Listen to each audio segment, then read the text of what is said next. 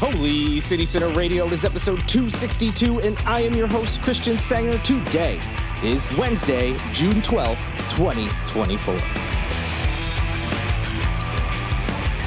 Welcome to the midweek show of Holy City Sinner Radio. I so appreciate you all coming back. And let me tell you, we've got a special one today. It's an interview episode. You know, these are always interesting. I love talking to people around town about their stories, their projects, and I've been able to, to speak with a lot of really great people. Um, and today is no exception. Uh, this gentleman I've met several years ago. And when he found out I had the website, I, I, think someone introduced me and said talked about the site.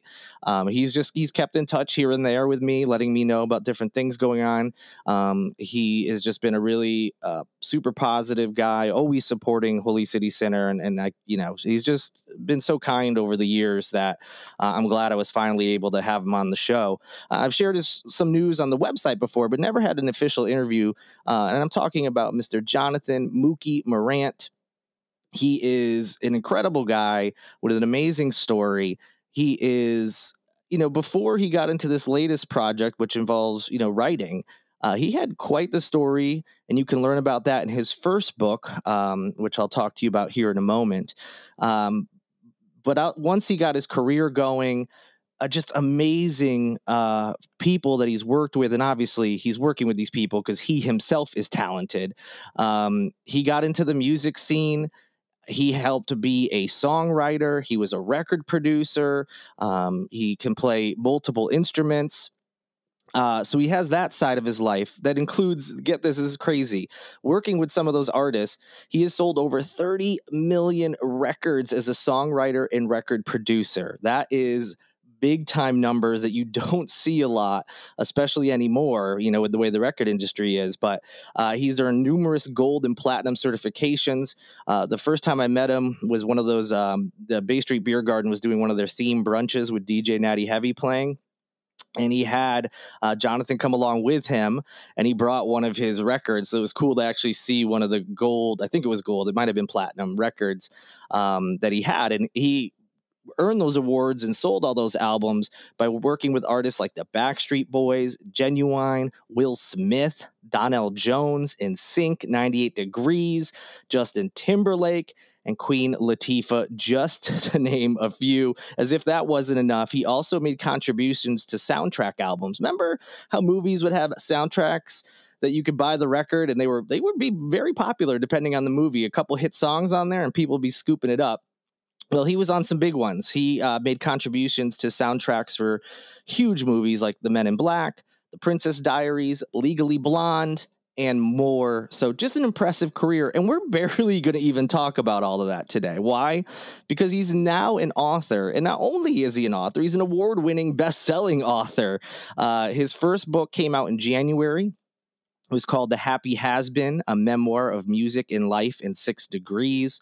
Uh, we'll, we'll get into it in the interview, so I don't, I'm not going to, you know, expound on what the book is about.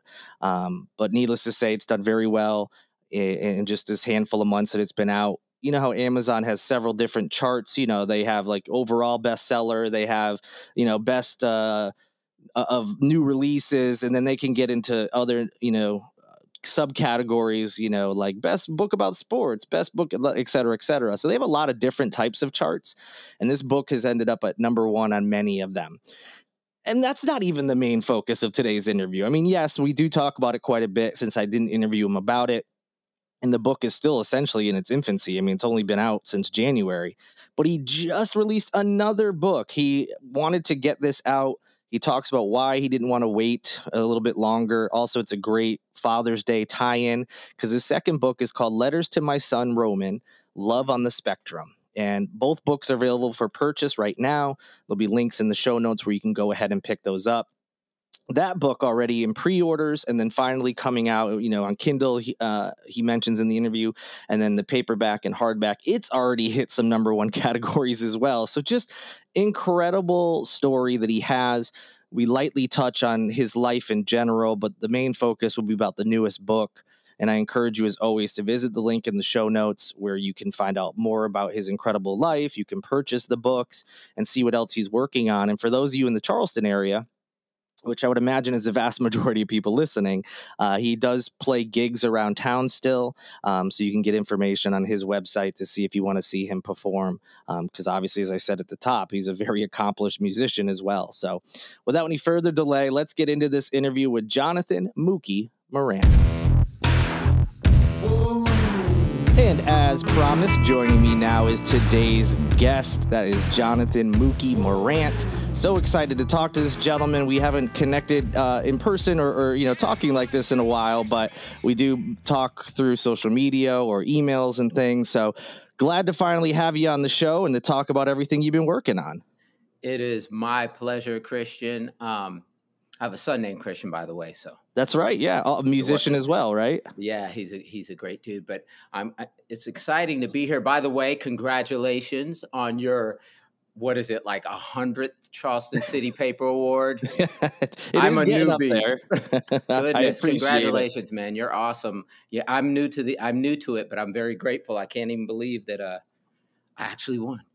I know. That's good. Yeah, Congratulations yeah. to you. I was about yeah, to say the same. It's pretty great. So, before we dive into um, this newest book that you have coming out, I, I want to mm-hmm. talk about the first book, of course, but also even before that, just for those who may not know who you are, uh, you have an impressive resume. You've done some amazing things. If you could, just a little background about yourself, just so for those who are unfamiliar, they'll just know you a little better. Perfect.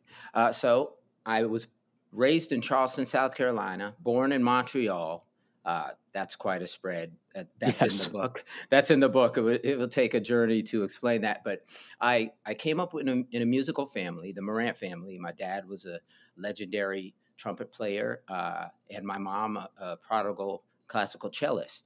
And so I, uh, we had a big family. I'm one of many brothers. We had a band together, and I played drums and and then when I became a teenager, I basically decided that I was going to be the next prince. Needless to say, that didn't happen. But my dreams of my dreams of, of making it in the big time as a record producer, songwriter, uh, you know, miraculously they came true in a major way. I ended up working with the Backstreet Boys, Justin Timberlake, Will Smith. Uh, I mean, the list is endless, and um, I spent a lot of time cultivating my musical craft as a producer and a songwriter. And then I came home to Charleston and I've been here uh, back home settled for 20 years, just playing gigs like when I was a kid, playing with my dad. And it's been a joy. I'm a father to five children Christian, as we mentioned earlier, Christian, uh, Mercy, Sophia, Savannah, and my youngest boy, Roman. Very nice. Yeah, your resume and, and people, I, I'll have links in the show notes where they can learn more about everything and go mm-hmm. check it out. It's pretty impressive. Uh, the folks you've worked with, and not just like in passing, like really worked with these, you know, yeah. big names in the music industry. So maybe you didn't have quite the career of Prince, but it, it's still quite impressive to say the least. um, one day, no. Yeah, hey, you never know. You never one know. But now you've kind of, uh, you know, not that you're not still involved in music. I know you play around town periodically, still um, shows here and there. But you've also pivoted to add author um, to your long list of, you know, the hyphenates uh, that go before your name. And your first book uh, came out not that long ago, and, and, and it did really well. It, it, got onto a few lists and things like that. If you could just let us know a little bit about that first book and some of the accolades you received. Well, it's it's pretty amazing because first of all out of all the things I've seen, all the incredible things I've done, places I've gone, people I've been with, one thing that was never in my purview, never there, I never saw it coming, was to write a book. It just was not, you know, I didn't see it happening. Mm. Fast forward, I wrote a book. It took uh, several years. Uh, but I was motivated by several people who just said I have to. You know, I'd post stuff on Facebook, and people would be surprised at the things that I experienced. And then I thought about, you know, my kids and how, uh, you know, I, I wanted them to know my life because three of my children weren't born yet during my time in the music business. So I wrote the book, The Happy Has Been, a memoir of music and life in six degrees. Mm-hmm. And it mm-hmm. came out in January, January 1. And it went, it shot up the charts on Amazon. It, it did like 10, in the end, it did 10 times uh, number one on different various charts. So uh, then, like you mentioned earlier, alluded to, uh, I won Best Author, right here in my hometown, which is mm-hmm. a big mm-hmm. deal to me because the truth is, I even though I was gone and I was traveling, doing my thing, and you know, it was a, it was a blessing, but I never really left Charleston. Charleston's been my home, and it's going to remain my home. So that that really was personal to me to uh, to be recognized by my hometown. So that's been doing well. It's still a baby. You know, it's still just getting going. Go ahead. No, I was just gonna say it's impressive. Yeah, it just came out in January. It's still going, like you said. Yeah. So again, there'll be link in the show notes. People can go ahead and, and purchase that book, um, and it uh, kind of dives into, I mean, kind of basically your life in general. It's a memoir, you know, about. Yeah growing up and some of the music industry things we were talking about um, and, and, that's kind of the the focus of it as well as uh, i guess for lack of a better term just your your positivity how to uh, yeah. make sure you're staying present and happy and and facing challenges head on so it's a it's a memoir but also kind of in a way like a, uh, a self-help book yeah, well, it's so funny because several people have given given it that that kind of title. That the thing is, it it's called the happy has been for a reason.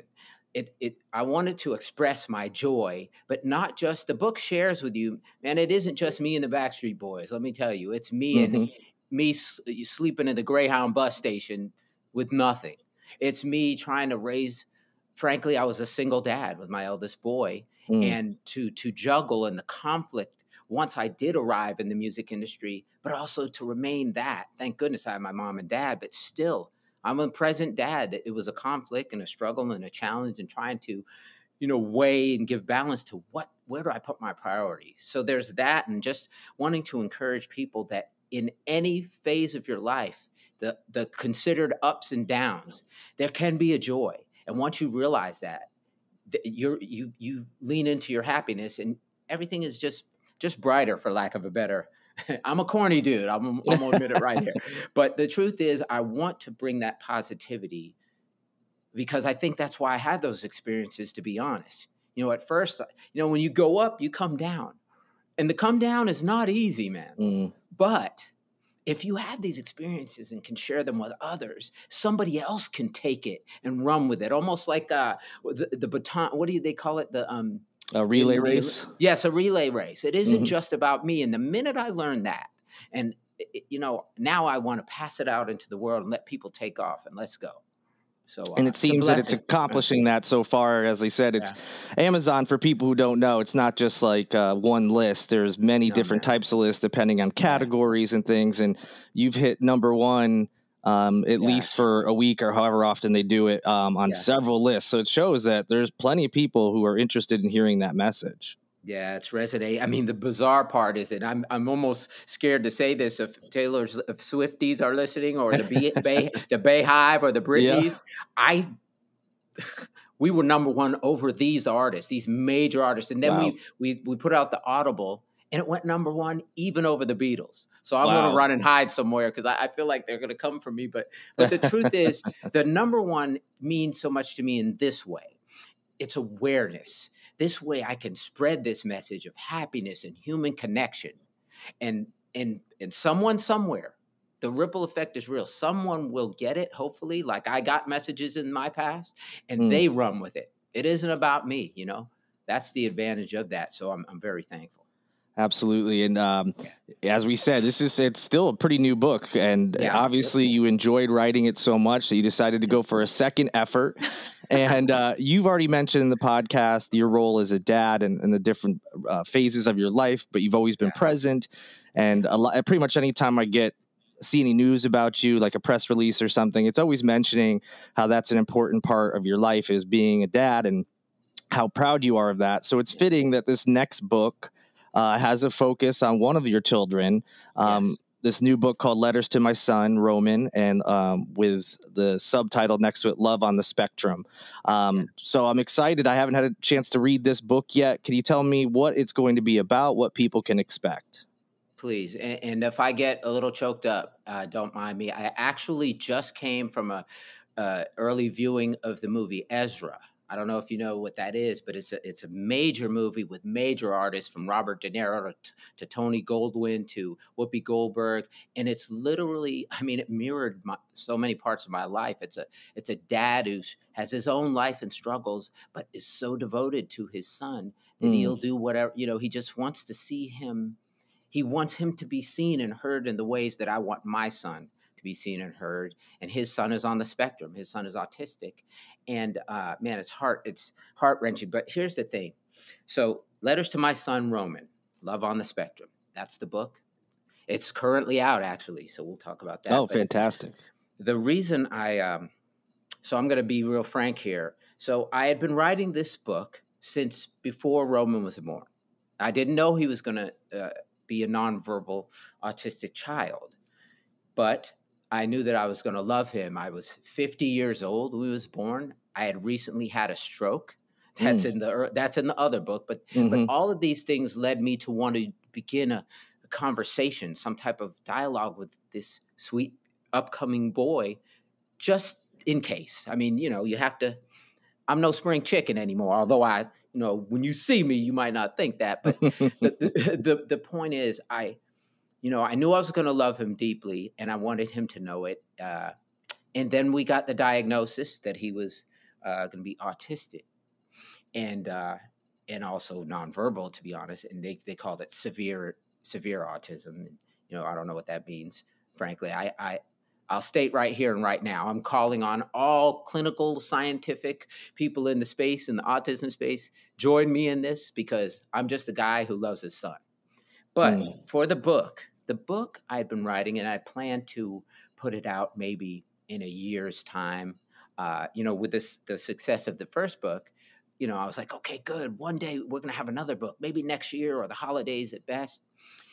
But then a very dear friend of mine, someone, a friend of both of ours, um, a couple named uh, Tony Roach. He's a DJ uh, from the Club Bullies, very popular DJ in South Carolina, a mm-hmm. DJ collective, and his wife they lost their beautiful 18 month old son just a few mm. weeks ago. And I was at the funeral, and Tony gave this riveting, just incredible, through much tears and, and just being shook up. He, you know, he, he um, admonished us to put down all the mess and live now and to and, and just gave the message that I believe in that that sometimes you know I espouse is that there you know there's no tomorrow. It's mm. now. Mm. If you have something in your heart, let's go right now. Not that there isn't a tomorrow, uh, you know, in technical terms, but when you get there, it will still be now. so right, the point right, is, right, right. So the point is, do it now. And when I left there, again through all the tears, and and we all loved on each other, and and you know we we you know, we gave love to uh, beautiful Tony and Megan, and the point was real to me that I need to not wait on this. The book was ready. I just was trying to be all strategic. I mean, sure, you know, sure, you know about putting a book out, but you know, st- strategy is not my strong suit. I'm one of them guys who just like I'm going for it. When I was, uh, yeah, a single dad. I'm 22 years old. I know nothing about children. Give me this child. What's next? You know, I'm that guy. So uh, in my heart, I knew that I had to put it out. So I, I scrambled and made sure that I had all the formatting, the technical parts ready, and I was and I just put it out with no thought, no hope, just hope that people would see in this a love that is very strong, but also one that is shared that you can share in a different form of communication. Basically, it's a compilation of my letters to him that I've been writing for six plus years. He's six years old now. Mm and kind of with the understanding, and you'll watch the journey because you could see the early ones where I didn't know that he was going to be diagnosed with autism. So I'll let you jump in. I'm, I can no, that was great. I, you know, and uh, yeah. it, it, number one, you can tell there's even though the obviously the the through line between both books is you and your life. And although this is a different aspect of it than the last yeah. book, you still are weaving in those uh, beliefs of yours of happiness and love and support for family and being present. So you're going to have overlap between the two books, despite there being uh, vastly different content in some respects. You know, one's more like your life and career, this one more specifically, like you said, your letters to your son. And you mentioned you'll see the progression. And, and I think, although in talking to you, and I'm sure with most parents, it was never in doubt that you were going to love all of your children, of course, no matter what diagnosis. But that still, I'm sure, was uh, shocking or um, maybe had you at least wondering, like, well, I'm obviously going to love my son, but what challenges are we going to have that maybe we didn't face before? D- did anything like that enter your mind? Oh, man. I have to say, you know, here's the thing. Being a veteran at the dad game that mm-hmm. I am, Mr. Mom, um, you know, I just, I'm, I'm going to be honest. The thing that moved me and that kind of did, you know, take me aback is I thought about Roman's mom. Now, this is Roman's mom's very first and only child, her only son. And you know, I, I don't know about anybody else, but my mom and me, that's my girl. Like mm-hmm. it gets no closer. I love my dad. My dad was the was the lion of the Morant clan, but my mom was my soul. Mm. So I thought about Roman's mom when all this came down, and I just wanted to kind of support her because I could not imagine the thought of her having her only son and not being able to say mom and talk to her. I mean, it's hard for me to speak about right now because that's that's that's a tough one. So yeah, I thought about sure. that. That's that's challenging emotionally, but but here's the thing too. Then Roman, he's a he's a person. So through all this, if you see Roman, that's why I share in here some pictures and and some experience I share on social media. Because when you see, when you not just see with your eyes, but when you experience this beautiful soul, you know that there is happiness, joy, and an understanding that that surpasses us mm. with him and other children who are on the spectrum. And since then, I've spent more time with other individuals, not only children, but particularly I have an affinity for children, obviously, as a parent. I mean, the, the, the brilliance, the spark, the creativity, the, the flat out freedom. Because let's just get this real. We're out here, we're putting on a show. This little yeah. boy and many like him, there's no show there. They just right. are who they are, and that's who they're going to be. And man, I want that freedom. So I, I'm learning from him. That's a great point. No, it's a beautiful point too. You're right. Yeah, just being themselves unapolog- unapologetically, and yes. a, a, lot of us would love to have that uh, bravery. Honestly, to just yes. be ourselves a hundred percent. So that's a, that's an amazing point. I mean, when we were children, think about this. When we were kids, man, we were wide open. We'd do mm-hmm. anything, much to our own demise sometimes, but sure. we would just just be free to to enjoy and and you know engage with each other. Again, you can you can talk about cultural cultural issues, racial issues, any of those issues. When you're a little child, they're not issues right. until we learn them. Well, sure. these, this little boy is not going to learn it. So in that respect, I, I want to learn from him. Yet there are um, you know there's the reason i jumped in here other than to express this in a loving manner is to begin the foundation in his name. It'll be called romans world. So that we can get some support and frankly some funding and uh, just we want to help families because i know what this is. I'm mm. going to be honest here. Roman's mom was involved with um, with MUSC and had some other uh, his her family is, is is a family in the medical world. So they were able to get him on this list for this mm. program that's a two year waiting list. And, the, and I'm talking, these are people who are affluent. You know, imagine the world out here of people on the spectrum, particularly children, who don't have access to these things. Right. And it takes funding. So I don't know much, and I'm going to call on all my people, but I have a big mouth and I have a big microphone, and the spotlight seems to be here. So uh, that's what I'm that's what I'm doing this for, to be honest. That's awesome. And uh, yeah. we've been talking about this new book, and it's already out. Uh, is yeah. the best place to get it Amazon, or, or where is the best place for people listening? Like, I want both books actually. Where, where's the best way for Let's them go. to do that? Okay, first I have to say I'm going to announce it right here with you. All right, it's, it's actually the first announcement I, I, I said on social media. So, letters to my son Roman, Love on the Spectrum. We put it out on ebook in pre-order two weeks ago. And then it finally came out uh, about a week ago. It shot right to number one on awesome. two charts. Hold, hold tight. The printed copies, both paperback and hardcover, came out Friday night, like midnight. So essentially Saturday. It has sat on number one since then. So it's currently number one on Amazon on the um, number one new release. I, believe it's in the child with disability, children with disabilities, and and another list.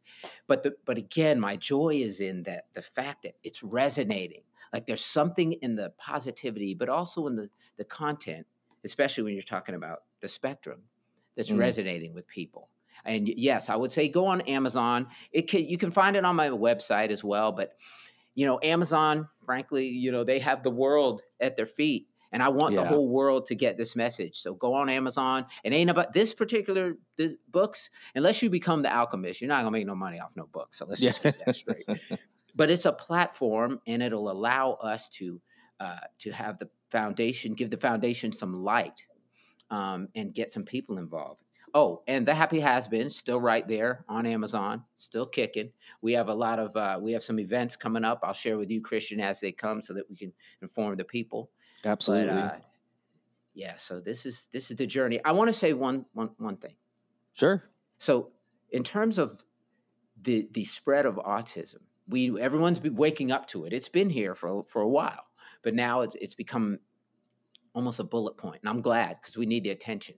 But my my focus is on children in particularly and specifically in, in roman's case nonverbal children which make up 20 to 30 percent of the entire autism community that's a lot of folks yeah. there's millions of autistic people so that's a lot of folks so please understand that in all my joy there's a mission i don't want these kids particularly being given up on because there's no line of communication or they don't under, or we don't understand how to communicate. So that requires resources. It requires funding, frankly.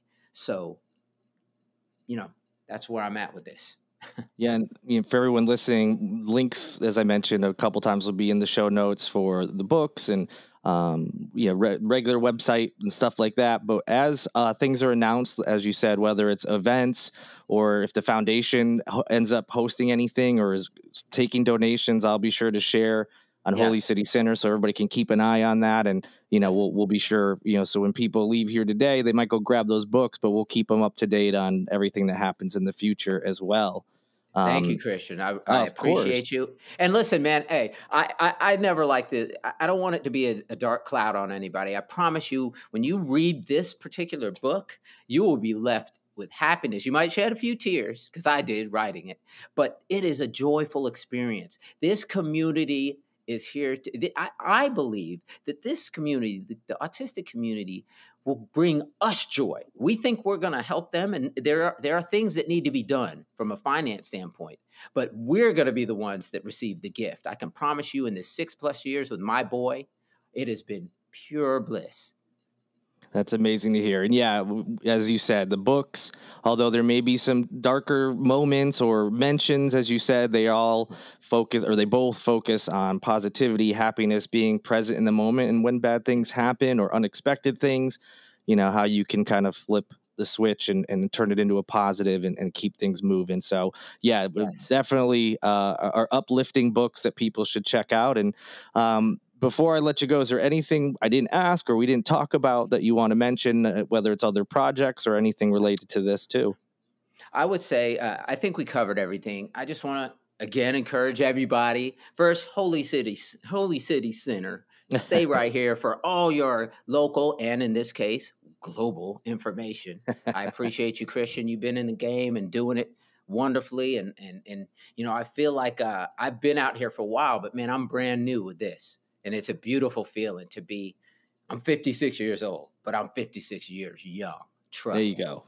Let's and. I, I, appreciate that the kind words and you know yeah. since we first connected several years ago like i said we may go a while without connecting about something that's going on but you've always been super nice positive and supportive Thank so I, I, really appreciate you as well and yes. so happy for your newest success you've had plenty but even this you know we got more stuff happening so and i really appreciate you coming on to chat with me today Thank you, Christian. And anytime, uh, I'll be back with more. There are definitely more projects in the pipeline. I promise you that.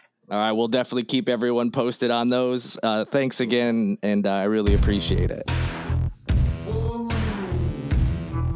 And that'll do it for this edition of Holy City Sinner Radio. A big thank you to Jonathan Mookie Morant for stopping by. So glad I could have him on the show today. Great guy, amazing story. Um, and I encourage you all to go pick up both of his books, if not just one. um, but uh, both are really, uh, really good. I haven't read the second yet, but just based on what he was saying, uh, it sounds like it's going to be a, a, really good release. And uh, yes, I encourage everyone to support him and his mission. And like I said in the interview, uh, I'll be sure to pass along more information as his journey continues. So thanks so much for listening. Thank you to Lindsay Marie Collins with LMC Sound System for producing this and every episode of Holy City Sinner Radio. And thank you to Tyler Boone, whose music you hear in each and every show. I'll be back with you on Friday. Uh, we'll get you caught up on the latest news, including um, election results. The primary was held on Tuesday. As of this recording, the polls are still open. So obviously, I have no idea, at least officially in some races, who's going to win. So I'll be sure to give you a little bit of a roundup on that as well. So if you're not haven't already, be sure to subscribe to this podcast, like it and review it, rate it, whatever you can do to help it out. Uh, I really appreciate it. So back on Friday, but until then, you know the routine. Good night and good luck.